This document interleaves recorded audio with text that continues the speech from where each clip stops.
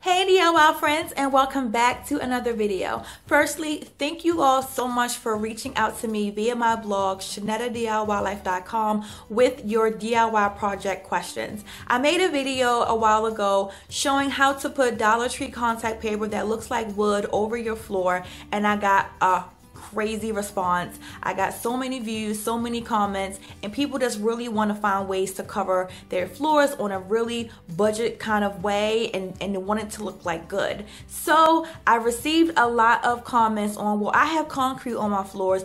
Can contact paper go on top? What else can I use? I'm not really finding a lot of resources or a lot of options. So I'm going to bring this video to you guys to help you know what different type of ways you can cover your concrete I'm going to provide you with the top YouTube videos that I have found that seem to be giving great tutorials with a lot of good information. And I'm going to also run down the actual products you would need in order to tackle each DIY covering of your concrete in your home. So if you yourself have a question or a DIY you want to do, but you're not too sure about where to find the information or you're not having luck on YouTube, send me a message from my blog. Once again, it's ShanettaDIYLife.com and I will help you get all you need to tackle your home project. So let's start off the video. All right, so the first thing I want to talk to you guys about is peel and stick vinyl plank flooring. These are so so easy to install. They look like hardwood. They give your floor a completely different look and they are relatively on the inexpensive side. So when you are laying down your peel and stick vinyl plank flooring, these can go directly onto concrete or you can install a underlay or underlayment underneath the peel and stick so that it can last a long time. It's stated on average you can expect your peel and stick plank tiles to last between 5 and 25 years, but it all boils down to how they are installed. When you have concrete floor, it's very porous and most time uneven. So when you lay these down, typically they begin to buckle or, or peel up because the actual surface it is sticking to is not really a good one. So having an underlay or underlayment put down on top of the concrete and then putting your peel and stick plank tiles on top allow it to not only adhere better but also to have a level surface Concrete typically is uneven, so you know those things automatically pop up or have these little bubbles and it's just making a mess. So having that actually down on top of it is a good option or something to think about. Another way I have seen that these are actually installed on concrete as well is to use Loctite. Loctite is a type of glue that's very, very strong and specifically created for concrete. I found this one here on Amazon and if you do have a level floor and you don't really care about using a underlay because it's an extra expense, you can use Loctite to ensure that they stick to your concrete. Now, I'm not sure how to remove Loctite from once you put it on your concrete. The directions may be on there, but this can be another option for you. Another peel and stick option you would have is peel and stick tiles. These, I believe, are the most cheapest of any of the suggestions I'm going to give you today. They come in 12 by 12 squares and you're able to cut them with scissors. You're also able to cut the peel and stick plank with scissors or utility knife just so you can have a clean edge when you have to cut them to finish out your actual floor. I would recommend to use Loctite to help you adhere it to your floor. But if this is a temporary area, you're in an apartment or rental, I suggest having a barrier that is going to be on top of their floor so that you can you can stick that peel and stick on top of. Most peel and stick um, flooring options have a no type of residue left or you're easy it's easy to remove I have received some that definitely have left residue and it's been a pain to remove so if you're able to put anything down on top of the floors you're trying to cover so that you can have an easy removal process don't have to worry about doing any extra kind of cleaning I definitely recommend that Painting your concrete floor is going to be another quick option. It won't be easy, it will have a lot of work, and it's not really quick either because you have to wait for the primer to actually dry and also the paint, the top coat. If you prep your concrete, which is basically giving it a good sweep, making sure that all the dirt and debris is gone. If you have any type of oils that have spilled onto the concrete, going to your local hardware store, getting some concrete cleaner. I have also seen many YouTubers use Dawn and water to actually get the grease out of the concrete, allowing it to fully dry for 24 hours and then going on to painting it. Now, you do have the option of just painting the concrete by itself. One solid color, make it unanimous, quick and easy so you don't really have to worry about any more extra labor intensive type of work. Now, I found a video from a company called Waco that definitely shows a really good quick option of how painting your concrete can be very, very simple using a, a roller and also a brush.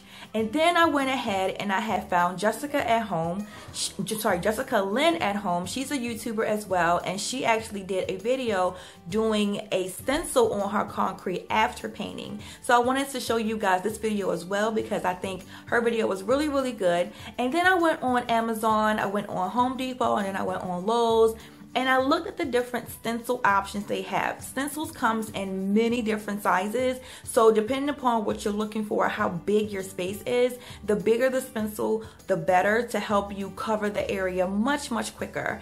And you don't have to worry about having any other type of problems or issues with peel and stick them coming up or something like that. You do want to make sure that you are buying the best paint for your concrete. I cannot stress this enough because although it is paint, you will be having walking on there, dogs on there, traffic, you anything that deals with you putting your feet on is something you really want to make sure is going to be a good product. I know that there are many, many different brands out here. So I have went also to Home Depot. Um, I went to Lowe's website and I found different kind of flooring options. I used to work at Sherwin-Williams. I know they also have some options for paint for the floor and concrete. All paint is not the same, even though it may say it's for the floor. It can be a terrible product and then you have to worry about removing all the paint and then repainting it. And that's a whole nother expense and a whole nother headache you don't want to have to worry about. So spending a little extra time and a little extra money finding the best paint that you want for your home is going to be so much more helpful than just buying the first thing you see that's at a good small price and then you you having to remove that down the road.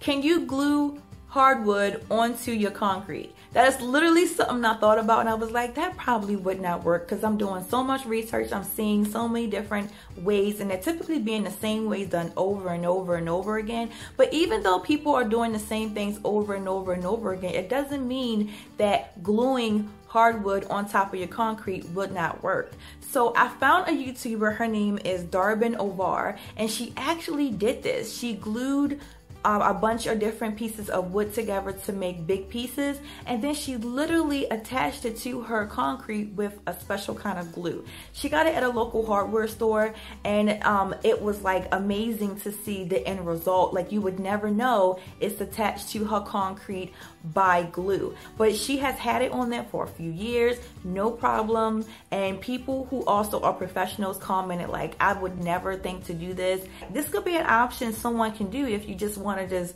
find some wood, slap some glue on there and put it down.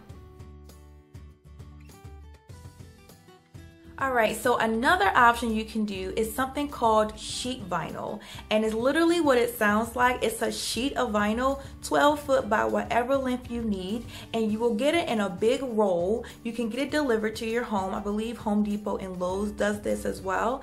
And um, you just basically roll it out onto your floor, attach it with some adhesive, and you're done. Most times they come, you know, from very cheap to very expensive with the word luxury attached. And they are also in two different thicknesses, a very thin like thickness and a very thick like thickness. They are waterproof, they are stain proof, they're easy to cut, easy to maintain. And I have seen a lot of people use them with any without any kind of issue. But for me personally, I would caution and just think about this. If you're going to put it in an area where you're not looking to do much change like a laundry room or a, a mud room or just a smaller room that if you do happen to damage a piece of that, that, you would have to remove the entire sheet vinyl. It's not like a, a vinyl tile or a vinyl plank where you can just individually remove that piece. You have to remove the entire piece of sheet vinyl and that can be a pain in itself. So this is what I have found on Home Depot and once again I found on Lowe's. Check those out, talk to a professional about the different types and what you're looking to achieve in your home. They have been used everywhere, bedrooms, kitchens, living room, dining rooms, you name it, even the basement. So this is a good option as well. It's literally two steps, roll it out, glue it down, and you're done. So think about that as another option. Chance you have just removed carpet from your concrete and you have a lot of stuff going on down there, it is recommended that you go to a Home Depot or another hardware place to do a tool rental for something called a diamond grinder. And this will help you prep your concrete for whatever you're looking to do, especially if you want to do a stain or an epoxy type of covering for it. It helps to prepare it by getting rid of all of that top layer and allowing it to be more open to, rec to receiving the stain or actually the epoxy. So just think about that if you do want to go down that road with your concrete covering. Installing laminate flooring is the last option. This video right here outlines detailed instructions and materials are listed in the description.